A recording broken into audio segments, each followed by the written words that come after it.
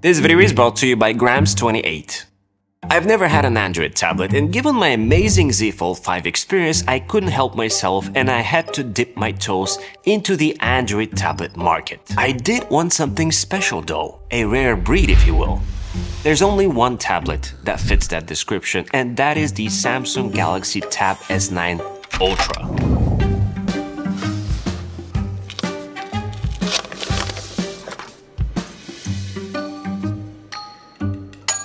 It is a rare breed as it lives between the world of the iPad where it competes only with the largest of Apple's tablets and on the other side it rivals with portable 2-in-1 laptops being a true hybrid machine that runs a super quiet yet very powerful hardware that can run as a tablet and provide laptop experience with the help of DeX. It is also a rare breed because it's the only IP68 water and dust resistant tablet on the market and in this video I will try to answer the question can it compete or even replace an iPad Pro or a laptop, or maybe even both? So let's see what makes this device special. For starters, this is the largest tablet on the market. With an almost 15-inch display, it dwarfs mainstream 10 or 11-inch tablets and competes directly with laptops, but in a footprint far thinner and lighter even if we throw in the official Samsung keyboard, which I'll talk more about in a bit. Second, despite all of Galaxy's Tab S9 series tablets running the latest dynamic AMOLED screens, which you can only give justice in person, this display, in a 14.6 inch size, holding it in its pure tablet form, is something special. I love Apple's mini LED tech, but the OLED on this tablet, especially in this size, is nothing less than spectacular.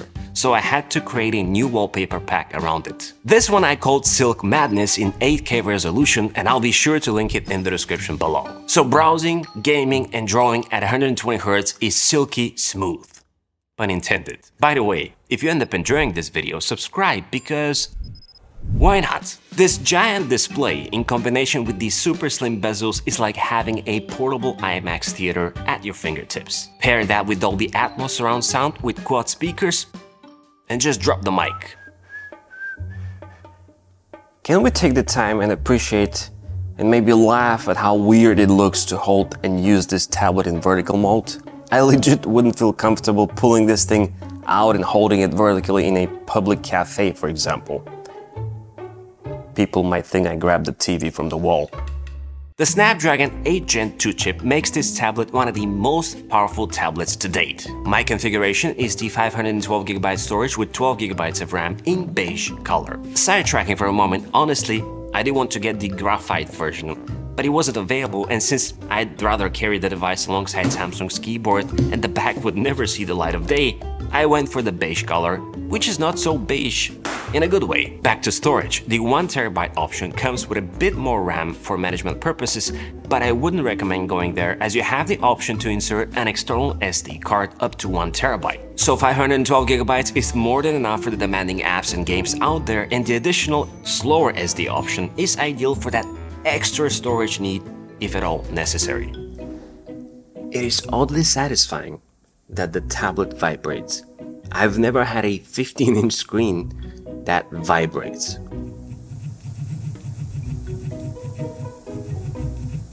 But I think I kinda like it. You know what? I really like it. Okay, so let's test both front facing cameras. Right now, I'm recording on the wide lens and if I switch to the other 12 megapixel lens, this is the ultra wide. And this is what it looks like.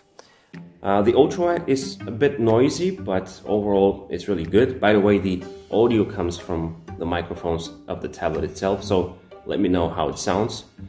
And if I switch back, I think it looks good. Specifically for meetings and stuff like that, I think it's great. Let's test the rear cameras now. Compared to the front 12 megapixel cameras, on the back there is an 8 megapixel ultra wide and a 13 megapixel main lens. And interestingly enough, they don't look as good as the front facing cameras. In fact, when I'm recording in 4K right now at 30, I don't have any control to switch the lenses. So I'm not sure what the purpose of the rear cameras are in terms of switching between them. Mm, probably it's mainly for presentations or meetings, but when you're doing like video recording, uh, like right now, I can even switch back and forth between the lenses. In terms of audio, I'm actually standing further away right now, and you let me know how it sounds in the comments below. Let's talk about the elephant in the closet here, the sheer size of this tablet. Sure, you might be getting something very similar in terms of daily experience with a laptop, but nothing comes close to the level of immersiveness this Ultra tablet has to offer. It's not only the thinness and the bezels that I mentioned. This tablet is super sturdy and after JerryRigEverything's bend test, I feel super confident carrying this device everywhere with me. Although I can carry with the book cover keyboard as is, I much prefer to move it around in something practical and in this case, timeless. This is Grams 28 118 leather folio, which is made from the finest Italian full-grain leather. Grams 28 uses some of the best environmental certified leathers, which are distinguished by their rich texture and soft touch. You can expect beautiful patina over time, making the folio individually yours. The 118 size I have is one of five size choices you can pick from to fit your lifestyle. I really appreciate the spacious padded interior, which in the 118 size has enough space to engulf even the largest 16-inch MacBook Pro and even the Tab S9 Ultra. What I like most compared to other products I've tried is the careful consideration when it comes to internal organization. I'm talking about dedicated pockets for AirPods and even AirTag. Grams 28 leather folio comes in four beautiful colors, black, dark blue, olive and fossil gray with an option to add initials, so be sure to check out the first link in the description below to grab your personalized Grams 28 leather folio. The built-in under-display fingerprint reader works as fast as the readers in the latest Samsung phones, and if I have to compare it to something like a fingerprint reader in a power button, I'd go for the under-display version as it is much more accessible than having to guess where that button is. The Ultra offers eSIM and 5G as well, which I've come to appreciate given my commutes, and despite running a data plan, this Ultra shines when it comes to battery life and performance. This giant slab of glass has a massive capacity of 11,200 mAh, which is roughly 500 more than what the 12.inch iPad Pro has. According to some stats out there, it lasts a bit less than the largest M2 iPad, but regardless of the differences, I'm really impressed at the fact that I can use the Ultra all day long and not worry about charging it no matter how hectic my day is. In a world where smartphones charge in crazy fast speeds, I would have appreciated faster charging option than 45 watts, but even at that, I'm really happy as long as I don't forget to charge it every night. Everywhere I take the Ultra, I gather people's attention. Everyone who starts playing with it remains super impressed at how cool it is to interact effortlessly with a display that good looking. Take a look at this. it's huge. What? It's it's almost too big. I don't know what to do with all this screen. Wow, that's that's a lot of vertical. Look at that. Mm -hmm. But you know what? At first glance, like using this with a touch interface, this is a better user experience than Windows. Oh, when it comes to touch. Definitely. Like layout, for example, just everything comes up. Mm -hmm.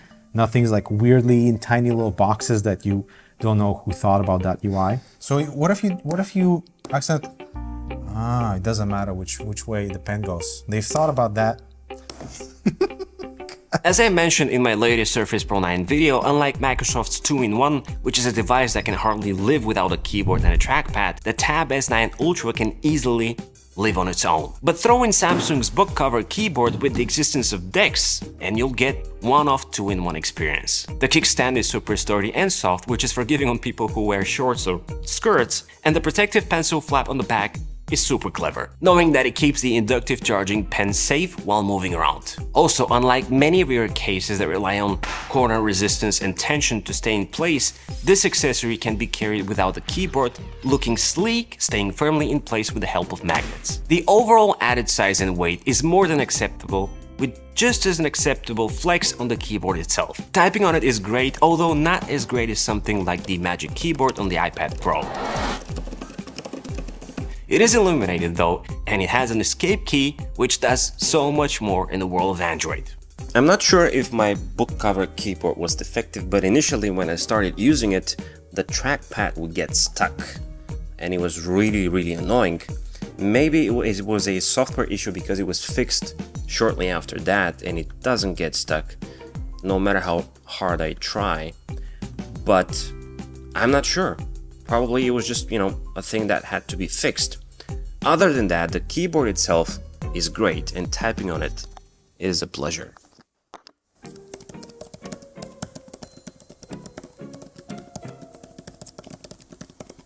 Let's talk about the pen. As you saw, it lives in the back, quietly charging, being protected by the keyboard. I really like the back magnetic cover, but let's say you don't have the Samsung pen and you don't want this hump here. Well, what you can do is just remove that thing altogether and just have a cleaner back look. This water-resistant pen has a soft tip compared to the Apple Pencil, which gives it less of a cringy feeling when drawing, sketching, or writing on the glass surface. What I mean by that is that you most likely find less of a reason to use a you know, paper-like screen protector because out of the box, you'll feel more natural using it. By the way, this inductive pen charges no matter the direction you magnetically attach it in, which is awesome. Of course, this being Samsung supporting DeX, you can expect the usual perks of having the ability to connect this device to your TV wirelessly and hooking it up to an external monitor. Unlike most smartphones though, running DeX natively on the tablet is really something special. You can either trigger it by attaching the keyboard or simply activating it with a touch of a button to witness the best looking version of DeX period. I am about to do a new desk setup video which we'll use to showcase DeX in its true potential, so stick around by subscribing because that episode should come out by the end of the month. Truth be told, you can get the same powerhouse of a tablet with just as gorgeous display and features in the face of a smaller Tab S9 option Samsung has to offer. The Tab S9 Plus, for example, will give you a more manageable 12.4 inch experience with a saving of $200. But I urge you to try this behemoth of a tablet a look in person if you can, in order to grasp how awesome and joyful it is to use. It's special, I'm telling you. On the other hand, in a world where 2-in-1 laptops struggle to stay cool and offer mediocre tablet experience, the Ultra stands out as a superior machine that offers unbelievable tablet experience whilst also showcasing super promising laptop capabilities, both in the world of DeX as an internal solution and as an external environment. So can it replace or compete with the best of the iPads? Absolutely. Can it replace a laptop? Well, it all depends on your workflow and needs. If the Play Store market has you covered in terms of apps, and let's say you work with online tools and maybe you even have some tech skills to unlock even more in the world of Android, you surely can do your job relying on nothing but the Ultra. In fact, in my latest Z Fold 5 guide, I talk about how to unlock amazing features such as Samsung DeX in 4K, video wallpaper replacing Bixby, and more, so feel free to check out this video here. Like and subscribe to the channel, as well as my newsletter, and as always, it's been an absolute pleasure. This is Z, over and out.